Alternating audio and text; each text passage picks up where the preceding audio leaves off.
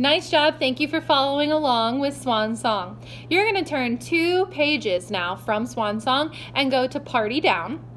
We're just going to review Party Down once. We don't need to do it with me, but I wanted to remind you of a few things as we're going through. First, make sure that you're singing the right part, please. Part one is for fourth grade only. They're the ones that sing party, party down. Third grade, you are part two. You only sing let's get party down. You only sing let's get. Fourth grade, you only sing party, party down. All right, so make sure you're singing the right part. Second, we are doing this only with the CD, so, and this is just for fun. So if you'd like to rap along with the rappers, you may, but this is just for fun. This is not guaranteed that anyone is a rapper, um, but this is something that you can practice if you would like.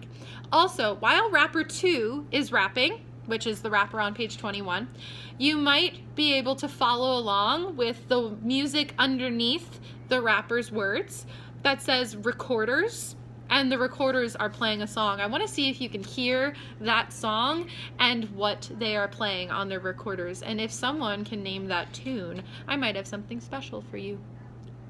All right, so you are on page 20.